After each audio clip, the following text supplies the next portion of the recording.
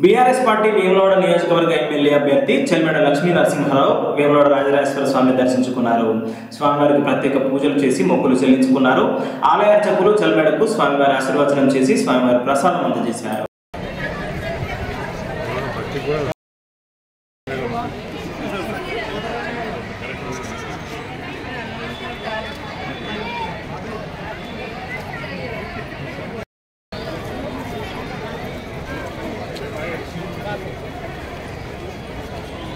Mama, hey.